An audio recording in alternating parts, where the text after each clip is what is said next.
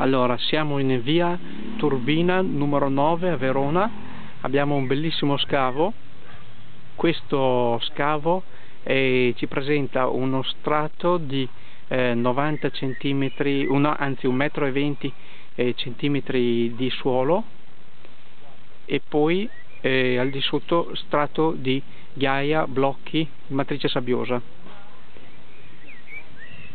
Non c'è la falda.